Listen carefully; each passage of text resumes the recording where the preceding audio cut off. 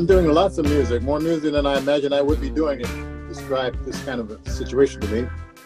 Been doing uh, uh, music at home for Sunset Concerts, uh, live stream for a special impro- uh, experimental broadcast test group. I've been doing um, remixes and collaborations over the web. So I haven't been going out, no touring, no outdoor performances. Why were you skeptical early on that you might not be making that much music during this time period? Obviously, you've got a lot of free time now. Yeah, lots of free time. I thought it would be just a lot of free time since all engagements were canceled and um, performance spaces didn't seem real because of uh, social distancing.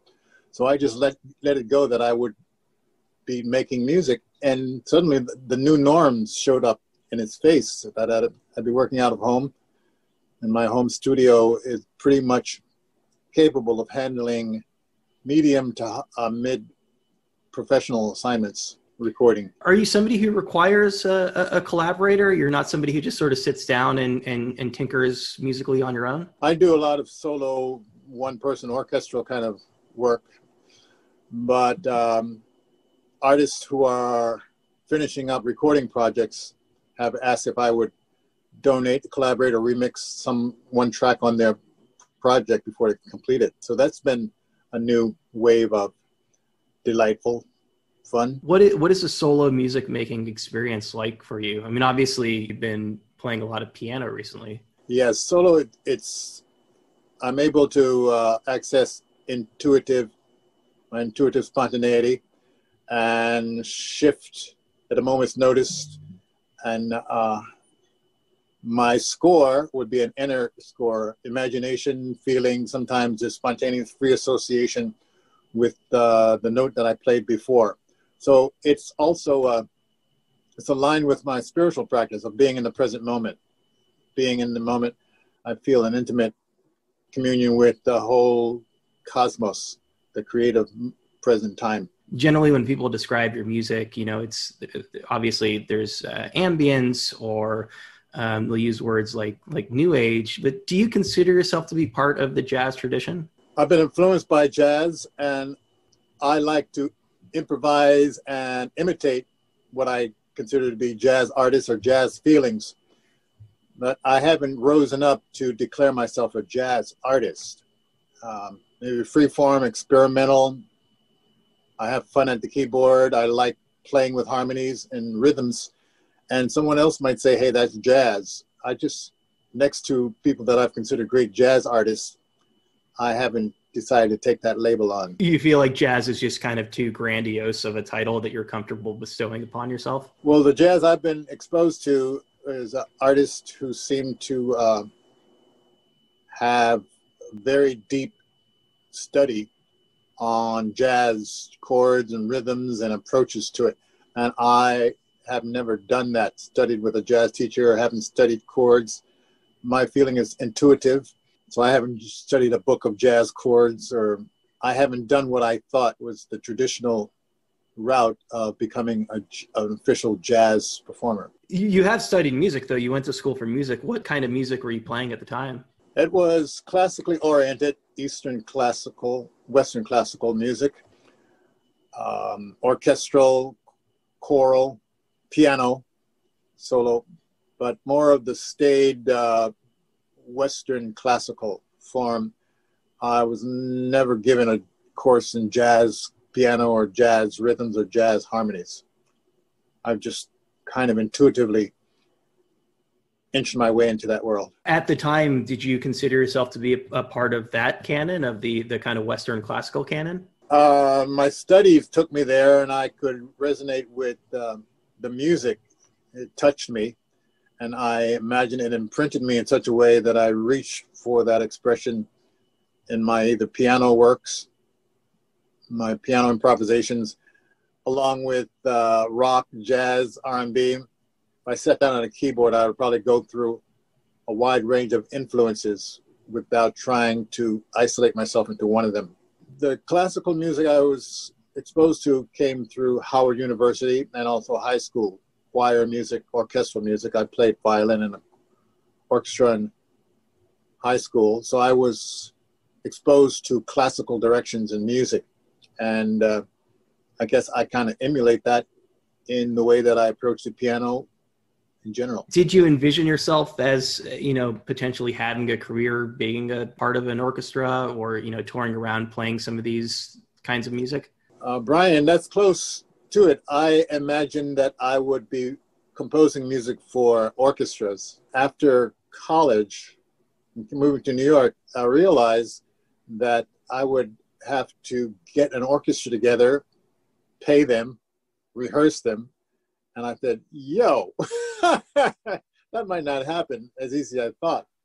The synthesizers offered me a hope, though, synthesizers, I could sit down with my keyboard and pull up oboe and cellos and flutes and create an orchestral sound through synthesizers. And that would allow me to do something I thought was unique, is that is create the impression of a very fluid, spontaneous orchestra. Something that you wouldn't expect to find in a concert hall where the members have rehearsed with a conductor for a period of time and there's a set course of action.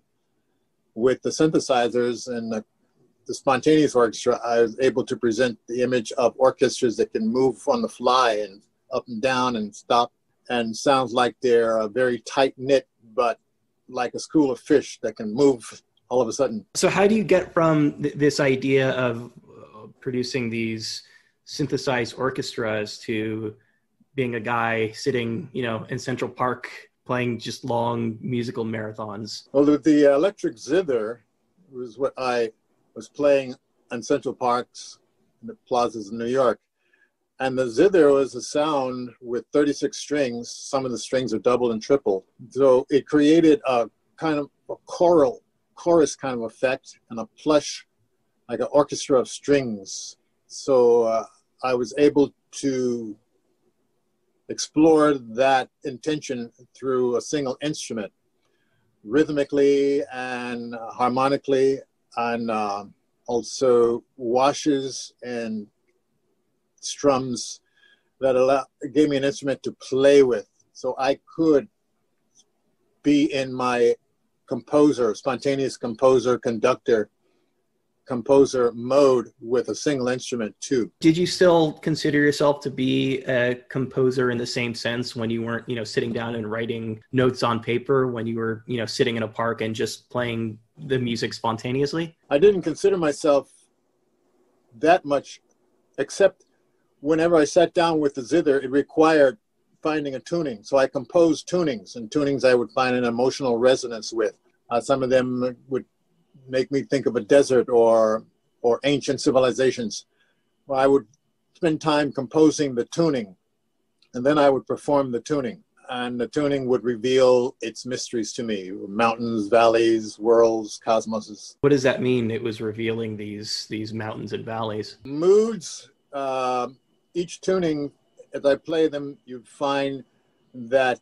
Uh, inner feelings uh, that would evoke images of uh, maybe skies, broad skies. And another time, playing rhythmically, it would invoke images of maybe ancient cultures that once lived on the planet that were dancing and celebrating and having festivities. Or it might conjure up images of vast stretches of desert land, empty and barren, uh, being uh, drenched by sunlight these images, uh, maybe because of my sensitivity and my imagination, these are the mountains and valleys. Exploring these tunings would invoke these images, inner images. You're sitting in the park with your eyes closed playing this music, but really you are somewhere else entirely. Yes, uh, but that somewhere else might be in a very concentrated present time or uh, with my eyes closed, I wasn't necessarily in Washington Square Park or Central Park, but I might have been in a timeless dimension, uh, uh, an, a non local uh, sense of time and space. Uh, sometimes then I might just be witnessing, like I said, ancient cultures dancing, and I'm hovering above them, watching them. Or I might be soaring over a desert field. So my imagination was highly active and still is. And the tuning of the auto harp would be a catalyst for, for driving my, running my imagination in those directions. Sometimes minor modes would take me more in like a feminine contemplative situation and major modes, major tunings on the instrument would take me more of a ecstatic, dance, bright, brilliant, celebrative mode of images.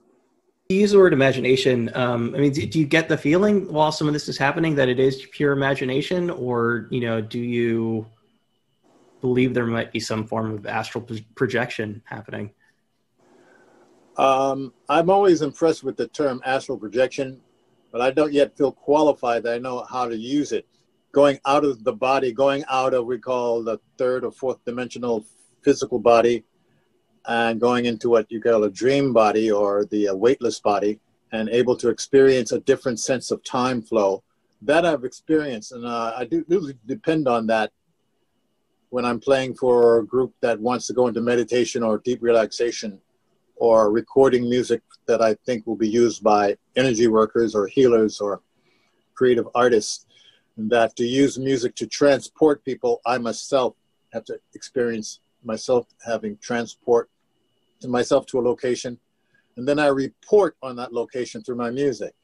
I give the coordinates, so I give the emotional uh, experience of being in that altered place or altered scenery. So it's a sense of having been there and giving people the directions for them to actually get there themselves.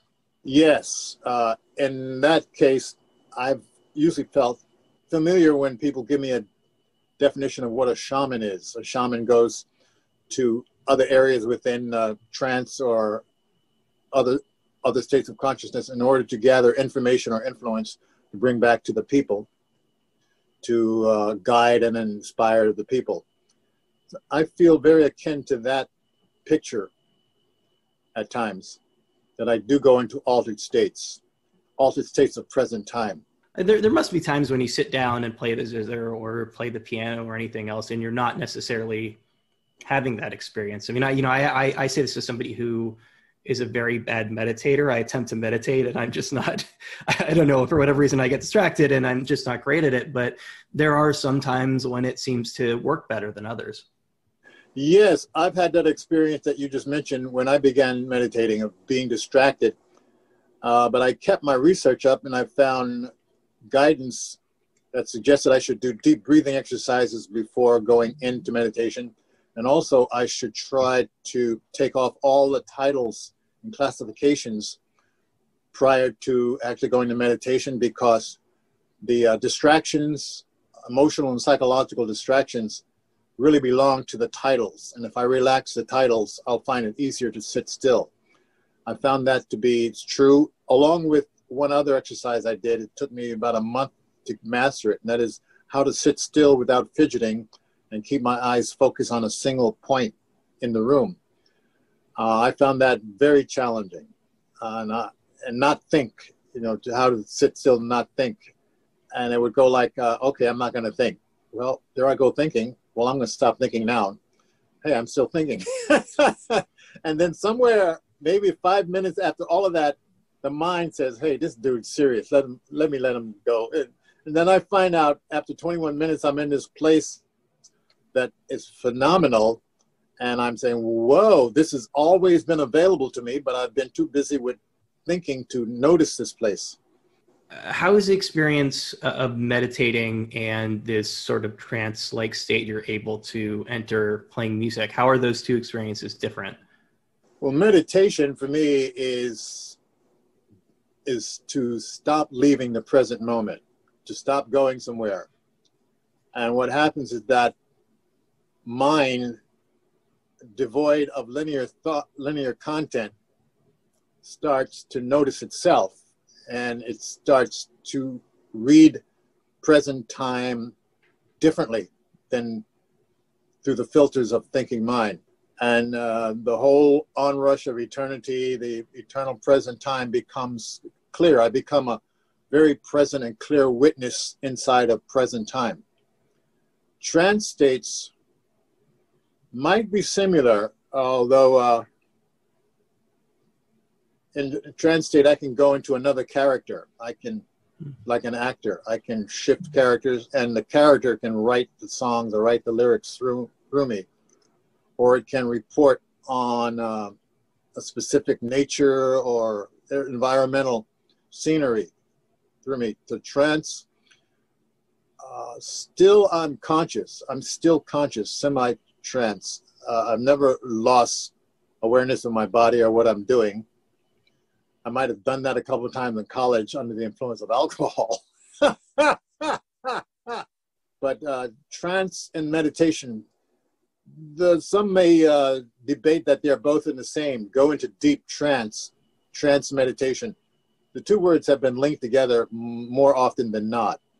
So if you say, what's the difference between trance and meditation? Uh, there might be a debate that they're one and the same. Uh, if I say I can put you into a trance with music, it means I could probably put you into a place of uh, an altered state, but you may not, in that state, be awares of the eternal present moment. You may notice, but you may not be aware of what you're noticing. Uh, meditation, I take as you're awares, you're present, and you're witnessing as I mean, so an enlightening or enlightened or an awares witness is aha. I am here, I am feeling this eternal presentness. Trance, one might be in a state of altered awareness, but not might not be have a clue of what's going on. And I say, hey, this is interesting, this is groovy hey, I'm high. This is fantastic. So being high might be another word for trance, going into an altered state with uh, legal, uh, medically uh, approved substances. I mean, it's it's a gift though to be able to do that without these substances, right? People spend a lot of time and money trying to get there. I say it is. It's a gift. But, uh, you don't feel like you're obligated, trapped, or uh, addicted and uh, like you said, if you're out of substance, but you have the will and you have your breath and you have a little bit of discipline, you can almost will yourself into meditation.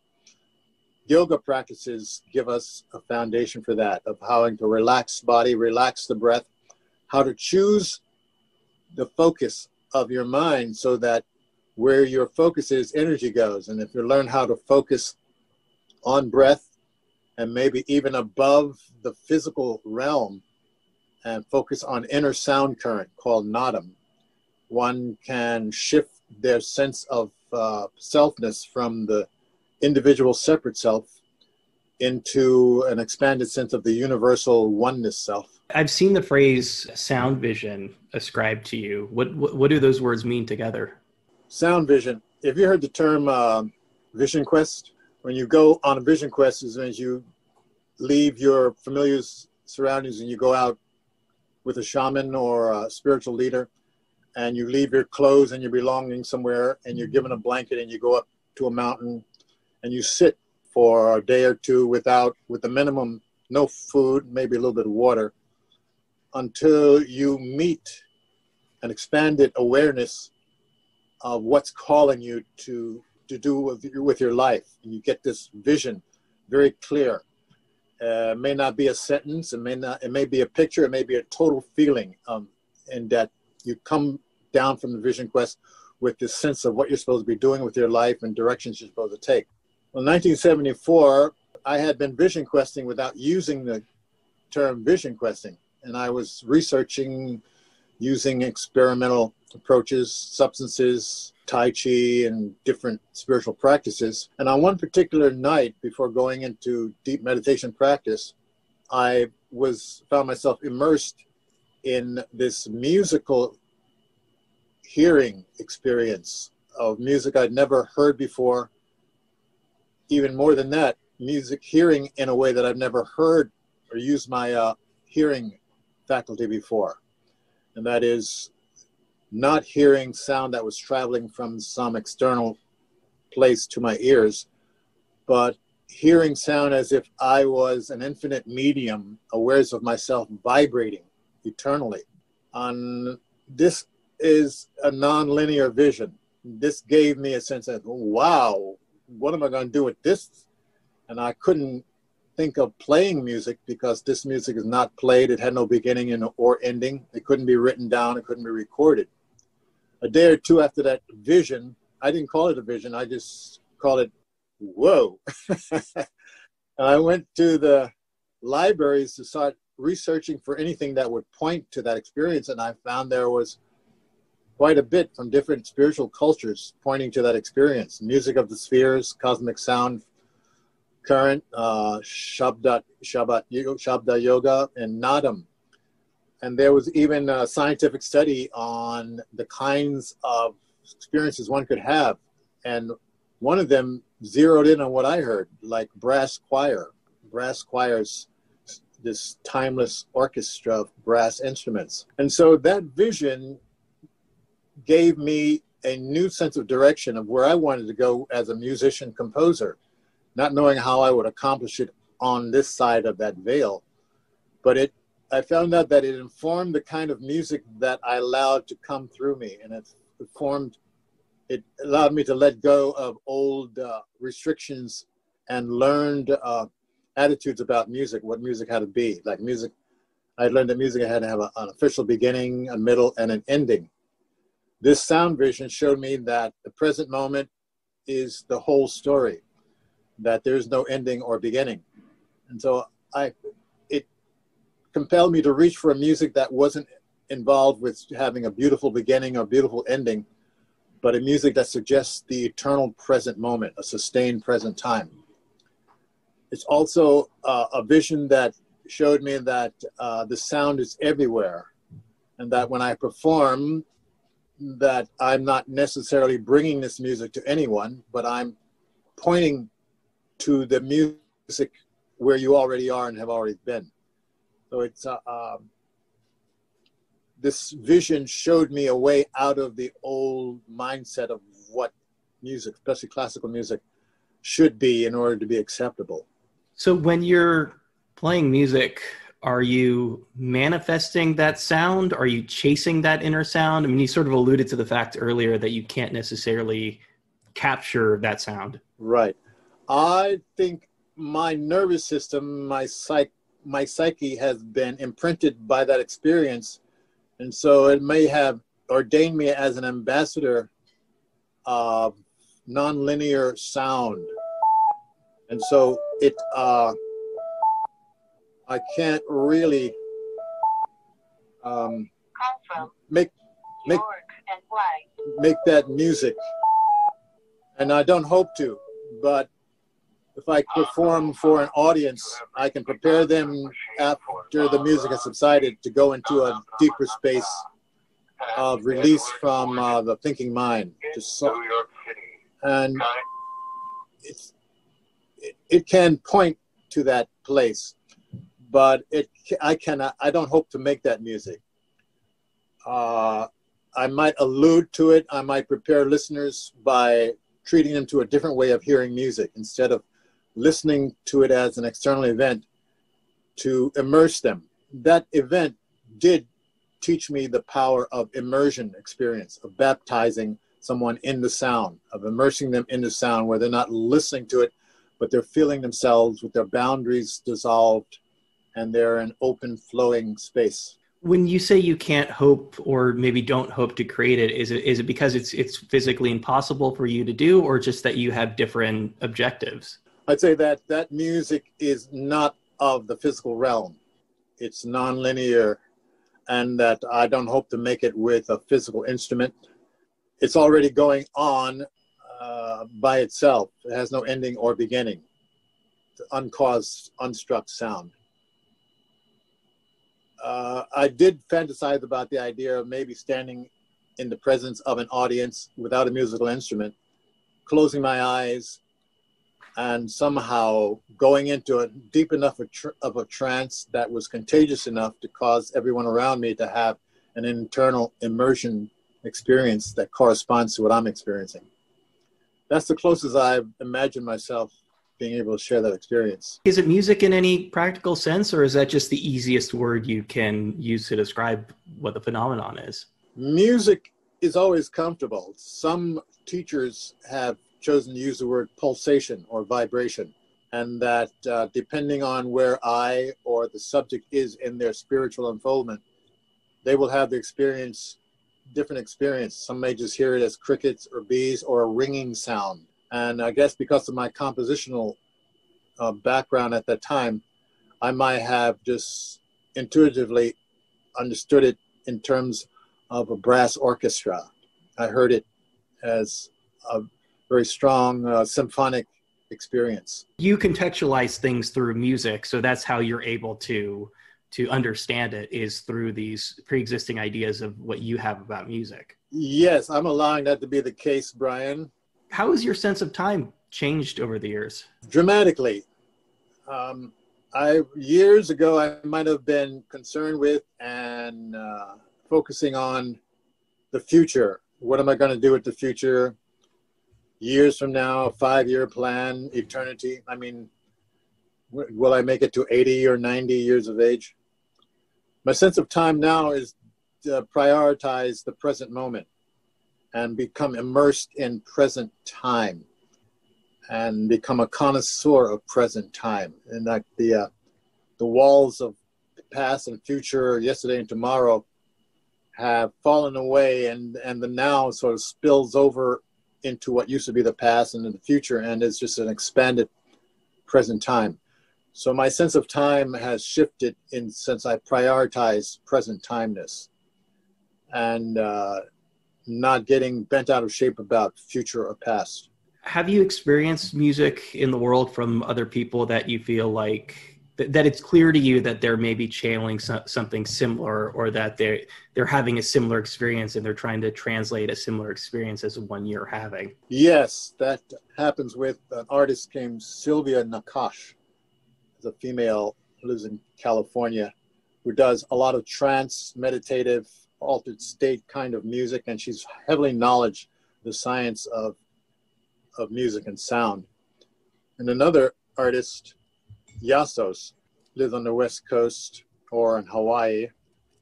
His music uh, invites my imagination to avoid future and past and remain in present time. Those two.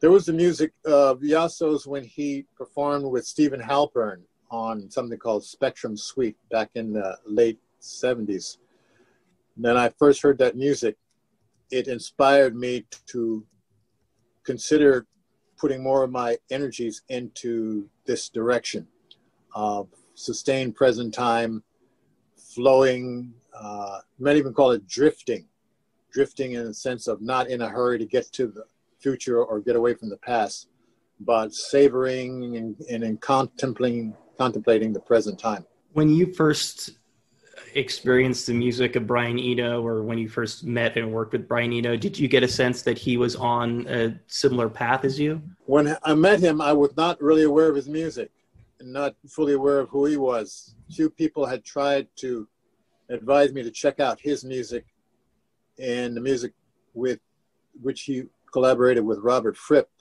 I didn't have time to check that out before he left me a note in Washington Square Park one evening while I was busking and uh, I responded to the note. Next day, we hooked up at his uh, residence in the village, and he talked about many things, and he brought up the subject of ambient, and it sounded like it was related to what I was doing, or it related to what he thought I was capable of doing in studio, and we agreed to go into a studio and record. Even up to that point, I was unaware of what his music was. I had not heard his music. He didn't try to push his music on me so after the album was released, and I started hearing my music in the context of his other ambient music, and it felt like unrushed music, like an environment within which to be present, to think if you wanted to think, but it wasn't uh, future or past oriented music. So when you were sitting in Central Park or Washington Square Park creating this music, did you have a sense that there was that there were artists out there creating something similar? I was only aware of Iasos and Steven Halpern, uh, not of other artists. I had been uh, made aware of artists who were doing uh, their own version of meditation, trance, mind, travel, music. One was from Florida, I've forgotten his name. So artists were starting to contact me and letting me know of their existence. I would get invited to expos and New Age ex conferences, and I would meet up with art artists who were doing, were going in that same intention with their instrument, whether it was a Celtic harp or flute or guitar or didgeridoo.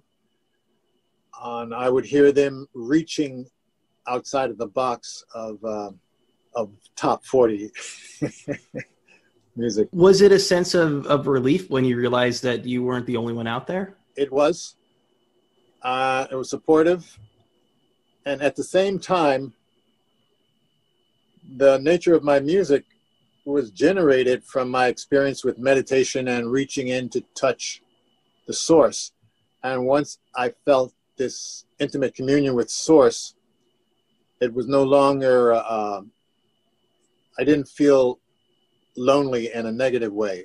Um, I felt totally satisfied, secure, and uh, whether I had external support or not. But the audiences loved it, and the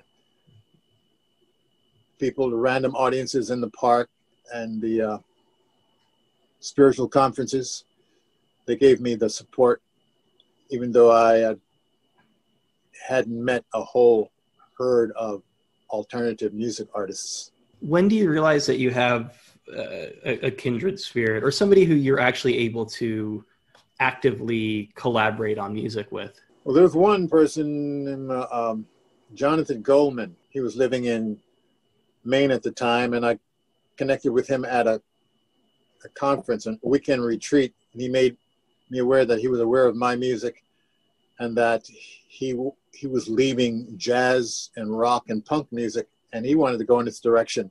And he suggested that we collaborate, and our collaboration there was uh, evidence that he had this direction in him all the time, but didn't have an outlet for it. So our collaboration provided him with an outlet. That might have been my first collaboration, 1982, where uh, we uh, were like focusing in the same direction for an alternative music form. Do you get get a sense that part of your role in all of this is to be a teacher to kind of guide people down that path? Yes, uh, even if it's just to model to someone who's passing by and sees it and, and it clicks, and they just go on, never meeting again, but they've been giving the go ahead sign, the permission to explore that direction. Other people who have listened to my music for years, and I felt by their own testimony that they have been inspired to uh, lend themselves in their own inner direction that's aligned with where I'm going. So I'm I'm aware of that there are people around the planet who let me know that music has inspired them to reach for their own inner vision with more passion. So what's kept you in New York all of these years? One, I don't want to own a car, the food, I like walking. Practical reasons. Yeah, but I like walking on the streets in New York. And New York is a fine walking town. Uh, I like dancing, and New York offers a lot of alternative dance situations. The rent here is pretty good. Sometimes I, I'm wondering if my years of performing on the sidewalks of Brooklyn and New York, a spirit guide of New York says, okay, I like this person. I'm going to make life comfortable for him here. So I received good rent. Life has been pretty tolerable, manageable here. Uh, the transportation system is beautiful. Like I said, I don't really want to own a car. Uh, the wide variety of ethnic groups, tolerant, ethnic tolerance here. And New York has great weather. After traveling around the world for years, I've learned to really appreciate New York's sunny weather. All of the summer, this is the first summer that I've really had a chance to really note that New York is humid in the summer. I'm usually touring, and I didn't realize this. I travel around the world, and people says, "How can you be in New York? It's so humid." And I said, "What are you talking about?" but uh, I like the weather in New York. A lot of clear skies, and uh, I like the change of seasons. Yeah, you, you might be the first person I've spoken to who who cited rent and weather as being reasons for staying in New York. those are those are usually complaints that people have when, when they're out here.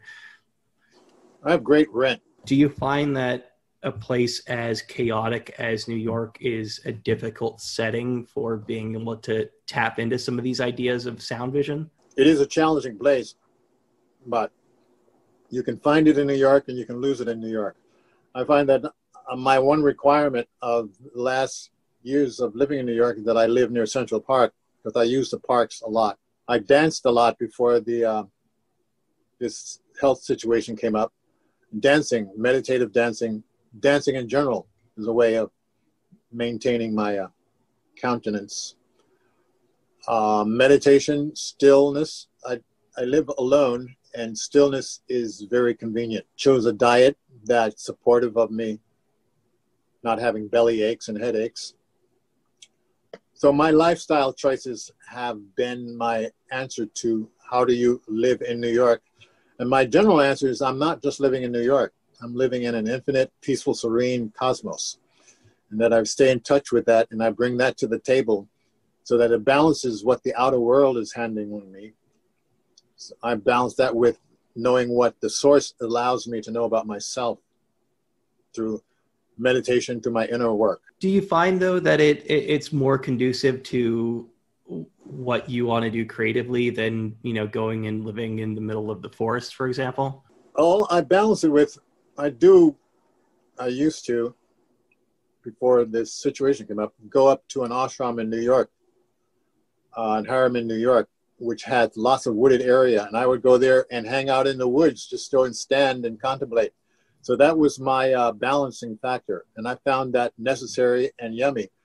Now I can do it in some parts of Central Park, through the rambles or through the, and uh, it is necessary to get away from the me- mechanized en- energy and get away from people who are uh, might be in an anxiety hustling mode. I also what allows me to live in New York is that I have double pane windows, so I'm able to quiet some of the sound. But uh, it is a challenge without meditation that the city itself will take away your focus and uh, you will probably require to get away to more serene um, nature. Do you get a sense that the current moment is having a marked effect on the music you create? It is in the sense that as I do reference the news daily, to get a sense of what's impacting people on a global level. And so it's like a statement that I once heard Leonard Bernstein said that when times become more outrageous, then the artist should become more outrageous with their service. So this time has impacted me and helped me to decide to become more committed with allowing my music to be more transportive and more passionate and to engage the listener in a way that helps them to remain balanced, centered, and find peace within themselves with the support of this music. I was reading an interview that you were doing ahead of this current trilogy of, of albums, and you seemed like you were perhaps a little bit hesitant to get back to the piano. Why was that? The zither allowed me to move around the world in remote places where there was no piano, and I could quality control my sound uh, the idea of depending on uh, the condition of a piano wherever I perform, well, I didn't think I was ready to make that those kind of demands. And secondly, I felt like my improvisational piano wasn't as exotic and as different and as new agey as the sound of the zither. Electric zither, I felt was an instant meditation, an instant unfamiliar sound. So it punctuated the uh, the feeling of new age, new sound hearing experience. I've always loved the piano whenever I would travel on touring. If there was a piano, even backstage, I would win my way to it and play it. But about three years ago, this happened in San Francisco at the lab. There was a piano on stage, and as the stage hands were seeking to clear the stage for my performance, I suggested them leave the piano there, and I involved it in my concert, which was recorded, and that was heard by Matthew Jones at Warp Records, who eventually suggested you know, I like that piano thing you do. Why don't we think of doing an album of piano? And I said, ah, this is the window I've been waiting for to finally let the piano happen. Do you find now that you you've been back at it again that you're able to reach similar places on the piano as the zither? Yes, um, the piano I can change harmonic feels instantly, and the piano has something that the zither doesn't have. It has very committed deep bass, the, the round deep bass, and I, I found myself for years trying to get more bass out of the zither but it just didn't work unless I did some trick effects on it. Also, the piano allowed me to dance. I more like to move when I'm at the piano.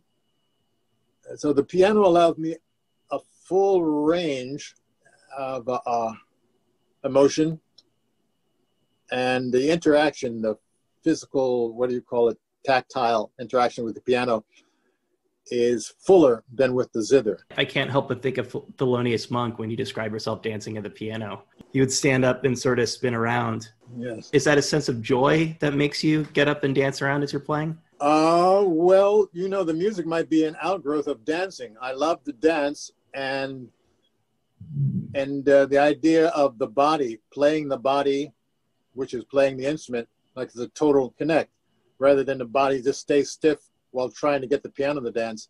I think that getting piano, the body becomes one with the piano. So I'm playing the body, moving the piano, and um, what my fingers do on the keyboards is an extension of what I'm feeling through the body, letting the feeling affect the body as well as through the keyboard.